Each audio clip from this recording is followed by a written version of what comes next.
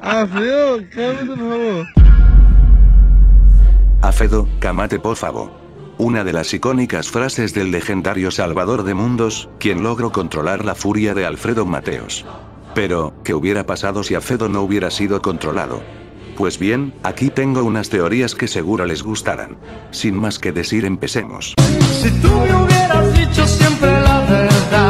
Antes de empezar el video, quiero aclarar que, Para entender esta teoría, primero deben verse Cronky Retorno de Pacha, temporada número 35, después de entender Evangelion y realizar una tesis acerca de cómo subsistir con el salario mínimo en Monterrey y después masturbar ancianos, no se olviden de tener tres maestrías en la UNAM, tener cinco hijos follar perros y poner un negocio donde vendas burritos Jordi, chúpame la pija X.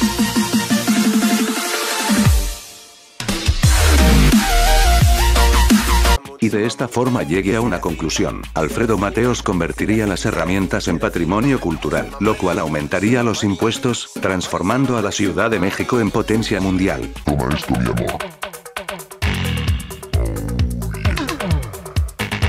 Óyeme, pendejo, ¿pero qué te pasa?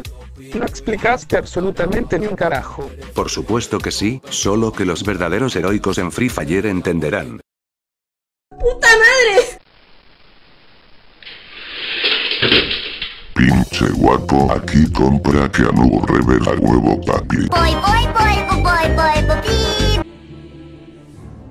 Dios es malo. Dios es bueno.